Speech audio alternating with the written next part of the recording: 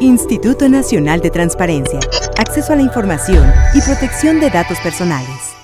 En un proceso abierto e inédito, el Pleno del INAI designó a Sergio López Ayllón y César Iván Astudillo Reyes como integrantes del Comité Técnico de Evaluación que analizará los perfiles y trayectorias de las y los aspirantes a consejeros del Instituto Nacional Electoral. Se trata de una facultad prevista en el artículo 41 de la Constitución que establece que el comité se debe conformar por siete personalidades de reconocido prestigio, tres nombradas por la Cámara de Diputados, dos por la Comisión Nacional de Derechos Humanos y dos por este instituto. El 22 de febrero pasado, la comisionada presidente Jimena Puente de la Mora recibió la solicitud del presidente de la Junta de Coordinación Política de la Cámara de Diputados, Francisco Martínez Neri, para que el INAI realice sus nombramientos. En su respuesta, el Pleno del Instituto votó y aprobó en sesión pública el acuerdo mediante el cual designó a Sergio López Ayllón y César Iván Astudillo Reyes como integrantes del Comité Técnico de Evaluación, encargado de evaluar el cumplimiento, los requisitos constitucionales y legales, así como la idoneidad de los aspirantes a desempeñar el cargo de consejeros electorales del INE.